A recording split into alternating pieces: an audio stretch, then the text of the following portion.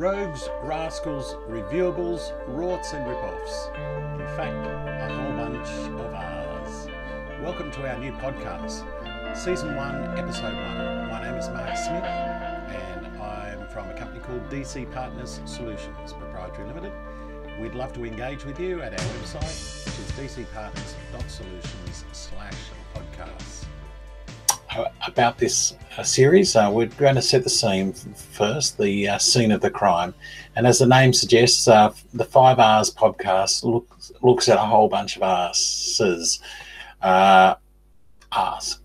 And, uh, and included in these R's are uh, rorts or rorters, rogues, rascals, uh, why limit ourselves to five rogues? But um, five R's, uh, rorters, uh, rip-offs and uh, the reviewables. Those are the ones that uh, maybe we're not quite 100% sure on at this point. And this series will uh, this series will look at, a, at several key industries, uh, industry sectors. There's some that we're interested in particular, and um, we'll look at some uh, proven and actual emerging villains um, in society. Uh, well, in the society that uh, that's around us. So hang in there. Uh, we'll provide you an outlet uh, for the critical review of these uh, these people. There's some fearless reviews of some misconduct or conduct, however you want to call it, that's impacted some people in our society. So, a little bit about me. I'm your host, as I said. Mark Smith's my name. I've got a uh, Master of Business Administration. Uh, I'm almost uh, through a Juris Doctor. That's a uh, postgrad law degree at the University of Sydney. There, I've done 22 out of the 24 units. Uh, been going at it since 2014. Um, I did actually leave school when I was 15, and um, so uh, later on in life, I became interested in uh, completing my education, and I hopefully think that I've got some things that uh, I can share with you, some insights and whatever. Uh, I'm a director of a company called DC Partners Solutions, uh, and I run other businesses called uh, Business Asset Protection, DCP Capital, um, DCP Asset Management. We've got a, a you know a significant portfolio of assets. Um, previously, um, why am I doing this? Well, uh, in earlier on in my life, I was uh, certainly cheated out of a fortune, and um, on top of that, I experienced uh, some challenges and difficulties uh, growing up as a as a kid. You know, a rough childhood, and uh, this has developed in me a soft spot. Uh, for people that have been ripped off, even my nan, bless her, she's she's dead. She witnessed a murder, and um, she was you know cross-examined, and she wasn't believed. And I get that uh, sometimes people aren't believed, and um, you know I'm here to stand up for and advocate for some of those people, uh, maybe that uh, aren't really able to do that for themselves. Uh, on top of that, we've now uh, procured or acquired access to a an Australian financial services license. That's an AFSL, and uh, we're going to use that to facilitate, you know, the access to justice. And that's the whole purpose of this series is to um, expose various things that need exposing, um, to, you know, as I said, critically review uh, injustices, uh, and uh, you know, along the way. Um, this AFSL will help us to achieve that justice. So that's a little bit about me. Uh, we're going to set the scene for uh, season one and some of the villains and themes that you'll come across in season one. And I encourage you at the end of this video to have a look at the uh, the links. Uh, there'll be links underneath the YouTube video, and, or if you're on our webpage, um, go to the, the show links just underneath um, the video itself. And we're going to have a look at uh, some people in the real estate sector, including some agents and uh, property developers. Uh, there's uh, miscellaneous other bad players uh, in society, some corporate villains. Uh, we love those. We're particularly interested in these travel ripoffs at the moment. Um, we're coming across, you know, every day that there's a story. Um, I was reading something today.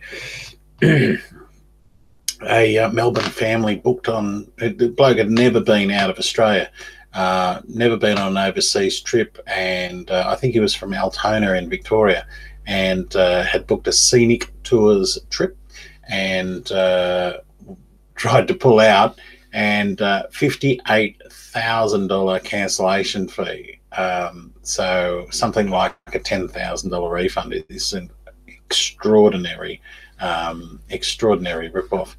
Uh, governments and malfeasance, we're seeing uh, all sorts of damages and other things that are done, um,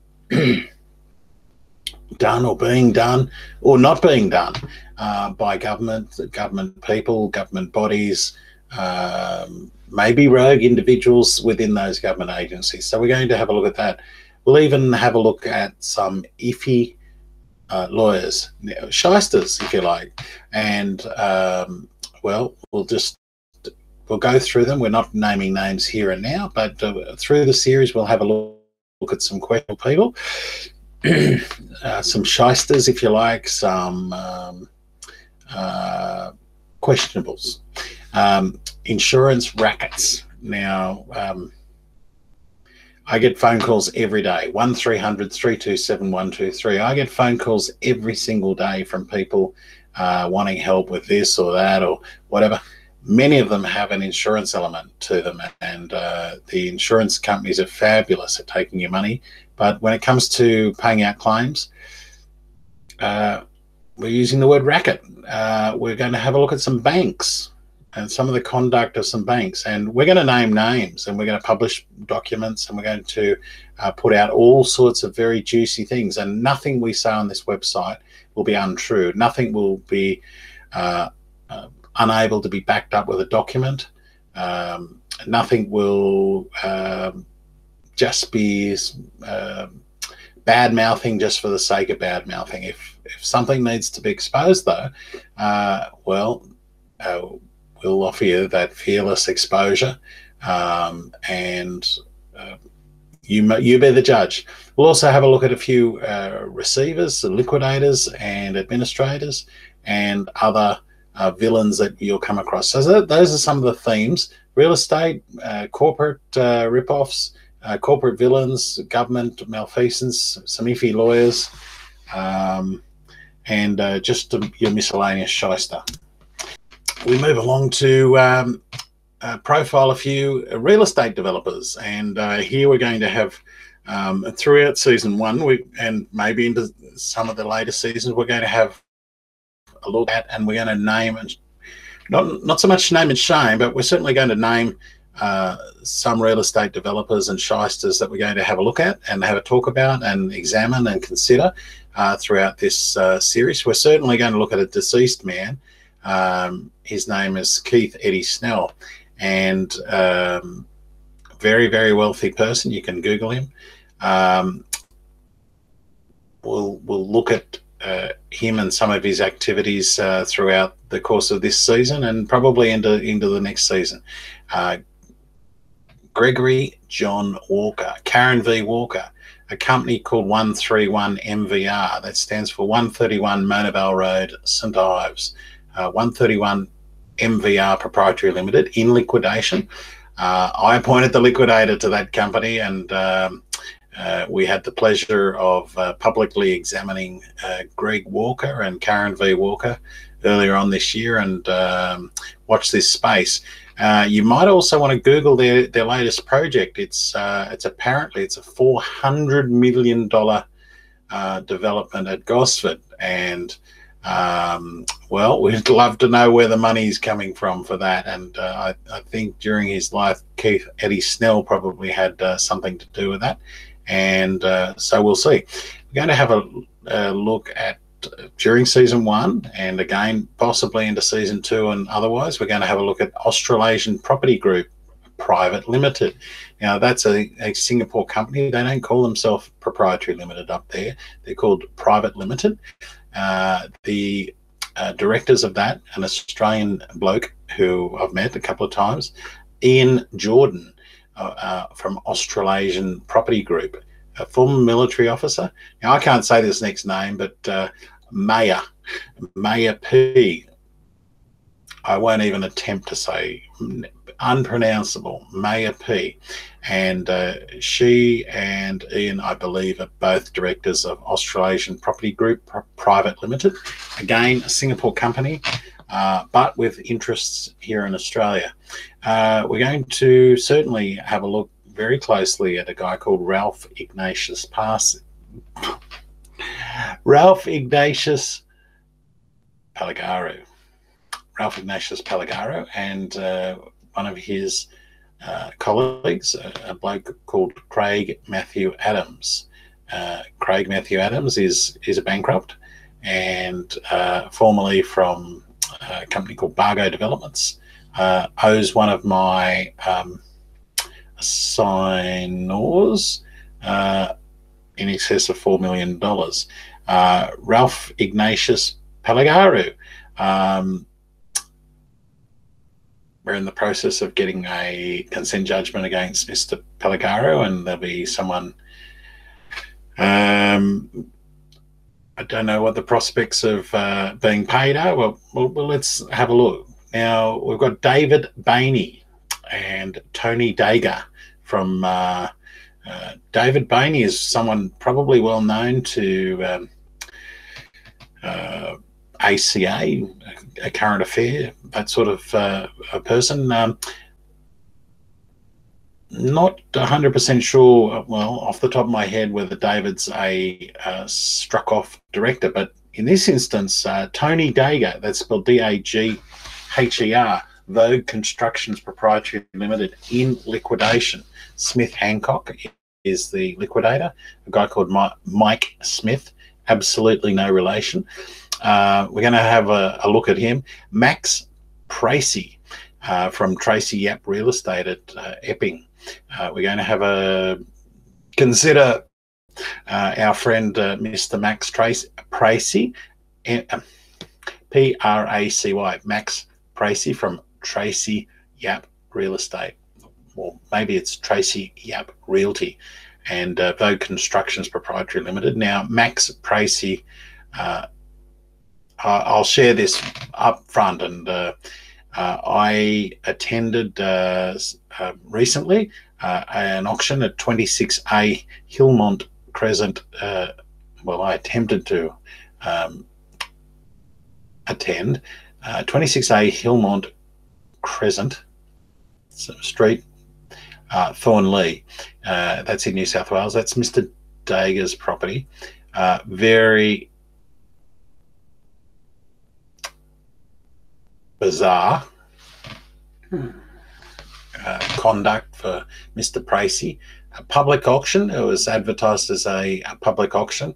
Um, walk up to the uh, walk down the drive. It's uh, 26A is uh, down a Battle Axe block. I walk down the drive, and uh, the public auction is blocked and Mr. Price is there leaning against the back of his car. And, uh, oh, good afternoon. Uh, can I get your name? And uh, so I say, yes, hi, uh, Mark Smith is my name. Oh, sorry, Mr. Smith, we're full. So I, I stick around and um, uh, inquire whether I may be able to um, uh, attend the auction if some of the sorry, we're full. COVID restrictions, COVID 19. See the sign. And uh, Mr. Max Pracy there has this sign saying, uh, well, public uh, health order rules, maximum 20 people. So uh, I, I offer to wait around and let's see whether some of the people that have apparently pre registered uh, turn up. Uh, look, I very much doubt that those people turned up. And Mr. Pracy eventually he didn't like my tone, so he reached for his phone and uh, calls triple O. Very interesting. Really does not want me there. So uh, that's the auction of uh, Tony Dagher's property, uh, Vogue Constructions Group Proprietary Limited in liquidation. Um, we'll delve more into that matter. Uh, Andrew Saunders from Saunders and Staniforth. This is a person that I met in probably 2006 or 7 he's a valuer in orange and ran a valuate still runs a valuation practice in um, orange. Uh, does work i believe for the commonwealth bank of australia does their valuation work or some of it and uh, is also allegedly a town planner this person will not give me a copy of his cv uh, this person andrew saunders uh, gives out legal advice. Um, this person has been sanctioned by the Australian Property Institute um, for his uh, particular conduct. So we're going to have a look at that sanction report. Um, Mr. Andrew Saunders was found to have breached the code of conduct for the Australian Property Institute. Andrew Saunders did not even uh, appeal uh, the sanction. Now, I'm not a lawyer, not quite anyway, not yet. But uh, what we what we're told when you don't appeal, you're accepting the um, you're accepting the sanction. Uh, Mr. Andrew Saunders was found to have breached uh, codes of conduct. He was found to have breached professional standards. Uh, we'll go into and we'll publish precisely what that uh, sanction report was, and uh, we'll have a look at him. Um, mm, but Mr. Saunders also uh, wasn't found guilty, was not found guilty of uh, giving legal advice. Now, I don't know if Mr. Uh, Saunders is a lawyer. I doubt it. Uh, but he gave advice that amounts to legal advice and uh, uh, to a friend of mine, and uh, that has cost that friend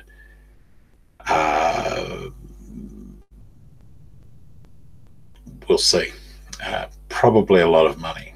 So, um, a fellow in jail, Hakan Kutup, right now today is the uh, 7th of September, this man is sitting in jail somewhere, somewhere in New South Wales. Uh, Hakan Kutup, H A K A N, new word Kutup, K U T U P.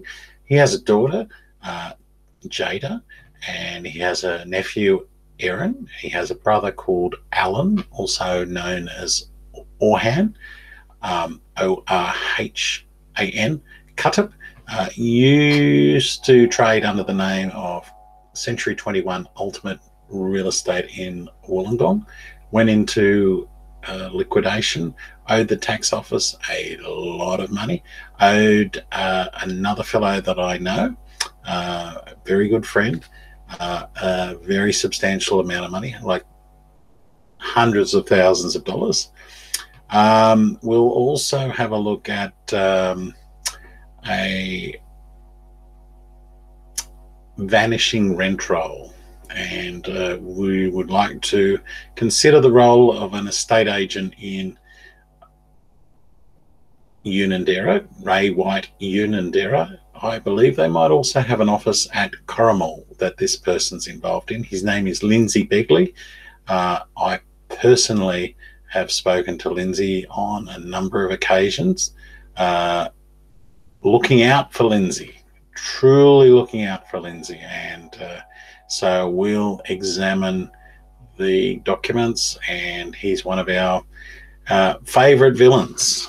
And uh, look, there'll be plenty of others. We've got lots and lots of exciting uh, people on the hit parade. We're going to have a look at some uh, wage theft, corporate villains let's not uh, let's not forget the corporates, and uh, we're going to have a look at uh, what I believe. Surprisingly, um, I've been going to Orange probably since about uh, 2003 or four. I've been visiting the town of Orange, and I did not know that this uh, this little shed up a up a uh, country back lane employs some 900 people. Now, I've worked in some big sites in my time. I've worked at Tomago Smelter. I think they've got a couple of thousand people there. Um, the smelter cost, I think, a billion dollars for each pot line. Uh, so I think they maybe have like two or three thousand people. Well, that's that's that is overcapitalizing. You can employ in the back roads, uh, in the back hills, in the back blocks, in the boondocks of Orange, you can employ 900 people. I have um, Tomago Smel- Smelter. Now that's a, a huge place. Um, uh, BHP in Newcastle. I grew up in Newcastle. I left school when I was 15, and uh, I've, I've, as I said, I've worked on the BHP smelter. Uh, maybe two or three thousand people back in the day. Um, I think there was a lot more than that uh, 50 years ago, but anyway, 900 people can uh, can fit into a uh, can, well can be employed out of a little tin shed in Orange. So that one's uh, that one's really worth having a look at. And uh, this particular company was in the federal federal circuit court recently. Um, I would like to call it wage theft, but um, let's be really kind and call it underpayment. Uh, this is a company called Caernarvon Cherry. And as I said, look, I, I don't especially, Caernarvon Cherry Proprietary Limited, and the directors of that, uh, their names are Bernard and Fiona Hall. And uh, look, I don't like the idea of uh, wage theft. Um, I can't name the person because I think I've given them a release, but you know, some uh, some wonderful bloke uh, decided to uh, underpay me at one point, uh, just not pay me uh, my overtime and, and things like that. So I don't uh, I, I, don't have a great deal of sympathy for crooks that steal other people's money, and look, it's I didn't invent the term. It's called wage theft. I think the uh, the unions uh, dislike it as well. And so we're going to have a look at uh, Caernarvon Cherry and what they've been up to, uh, allegedly including wage theft.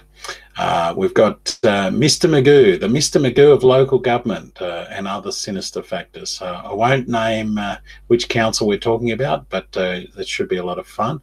Um, the emergence of corporate foreign money launderers and the, their impact on society. And um, uh, recently, Westpac or Westpac, we're going to have a uh, look at now, not in in terms of money laundering, money laundering, but uh, we're going to have a look at some foreign money launderers who. Um, maybe are affiliated with uh, wage thieves, and um, so it's it's uh, we'll just see where uh, the paper trail and the money trail and the um, the curious leads might take us. Uh, yes, we're definitely going to have a look at some iffy lawyers. Uh, we're going to have a look at the insurance racketeers, some receivers, some liquidators, and definitely Westpac Bank. Uh, there's a, a, number of people that uh, uh, I need to um, uh, I need to ventilate uh, my concerns about at the bank and some documents and some practices and uh, uh maybe even the uh, misleading of uh, various courts. So let's see whether that all goes. That um, oh, and my my current flavour of the month: travel refunds. where currently in talks with uh, Gavel. Uh, as I said, scenic tours have uh, not to be outshone there. Uh, their uh, cancellation policies. You cannot get your own money back. Um, doesn't matter if you've uh, put down 20,000, 40,000, 50,000, 59,000. I think that was one of the cancellation fees. Flight Centre. Now, I, I have actually worked in the travel sector and uh, Flight Centre were always um, looked down on because uh, they were called bucket shops and uh, hole in the wall uh, type travel agencies. Well, they're still around and uh, they're a little bit smaller than what they uh, where they were at at the start of this year, and they're shrinking every day. And so, uh, Flight Centre, um, we'll see where uh, where things go there. Qantas Airways and uh, Jetstar, and the ease with which a person can get their own money back, like in cash, rather than a uh, than a travel credit. Uh, we're going to have a look at the number of the, the cruise companies Royal Caribbean, Carnival, P&O Princess, Cunard, uh, and so on. And then there's also uh, Booking.com, Expedia, uh, What If, and um, Webjet. So thank you for tuning in. Uh, this has only been episode one of season one. But uh, I think we have a an extremely rich vein of uh, documents and information, and uh, as good corporate citizens, we we want to ventilate these things. Uh, we want to shine various lights. Um, I personally have got no baggage that I'm uncomfortable about. So um, if you've got any uh, tip offs or uh, things like that, by all means, uh, contact us on our website at uh, www.dcpartners.solutions slash podcast. And there's an instant message, instant chat or instant messenger chat on that page. You can uh, you can drop us a line. Um, there's also a contact us form and other things where you can uh, dump a whole treasure trove of documents and uh, tell us your horror stories. Uh, we're definitely looking forward to um, uh, communicating with lots of you and uh, having instant chats. And uh, you can 100 trillion percent talk to me confidential, confidentially uh, on 1300 327 123 or use the instant chat. And if we don't get back to you straight away, uh, we'll we'll see your message. Make sure you leave us your name and email address, and we'll correspond with you. So thank you for joining us. That's season one, episode one of Rogues, Rascals, Rorts, Ripoffs, and Reviewables. Thank you.